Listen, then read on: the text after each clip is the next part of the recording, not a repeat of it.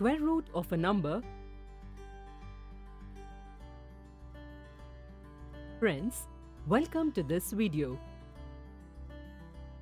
In this video, we will learn to find the square root using the division method. We know that the square root of a natural number x is the number, the square of which is x. A perfect square number has two square roots at the same time, negative and positive. For example, square root of 4 is 2 and minus 2, square root of 9 is 3 and minus 3. Now look at these perfect square numbers. We can find the square root of these numbers by the method of prime factorization or the repeated subtraction method. If we use these two methods, to find the square root of such large whole square numbers, then it will be difficult and it will take a lot of time. But we can solve this easily by the division method. For example, take the number 3481 and let's try to find its square root by the division method. We will use this method in various stages. First, let's draw lines like this. We will place the dividend here the divisor here and the quotient here. After this, we will place a bar on each pair of the digits starting from the units place of the given number. We have 4 digits here. So two pairs will be formed here and only two bars will be placed here. If the total number of digits is even, we place the bars on the numbers the same way. If the number of digits is odd, like the total number of digits in this number is 5, then the bar will be repeated like this on the left side the same way. Now we have to find the natural number whose square is equal to or smaller than the number below the leftmost bar that is 34. We can also say that we have to find the perfect square number that is less than or equal to 34. We know that the numbers 25 and 36 are perfect square numbers and the number 34 falls between 25 and 36.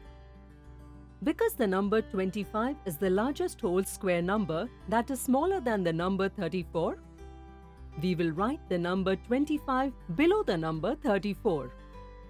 Here the number 34 is the first dividend. 25 is the square of the number 5. So we will consider 5 as the divisor. Here the first digit of the quotient will also be 5 because 5 times 5 is equal to 25. To find the remainder, we will subtract both the numbers. Here, 9 is the remainder. Now write the number of the next pair after the remainder. This will give us a new composite number 981.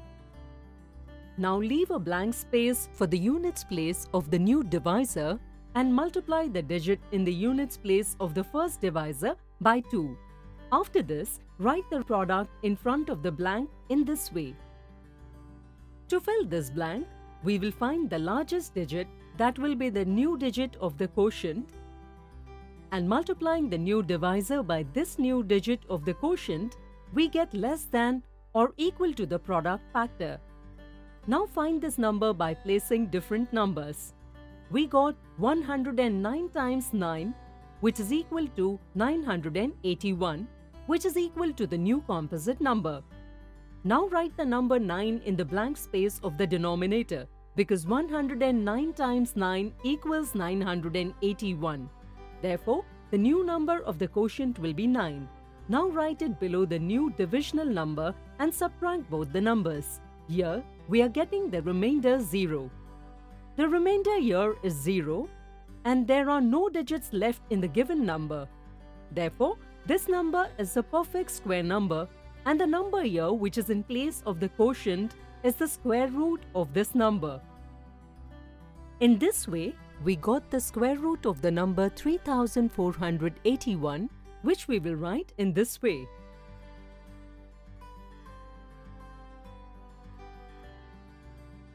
This method of finding the square root is called the long division method.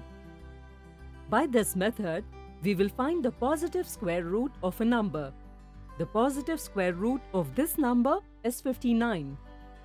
Can you give another square root of this number?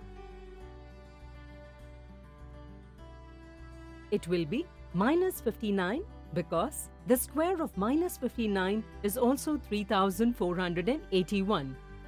We have seen that the given perfect square has 4 digits and its square root has 2 digits. Can you guess how many digits will be there in the square root of these perfect square numbers? If you want, you can pause the video here and solve the question. If we have a perfect square of a digit n and n is an even number, then its square root will be n by 2 digits and if n is an odd number, then its square root will be n plus 1 by 2. For example, look at these numbers.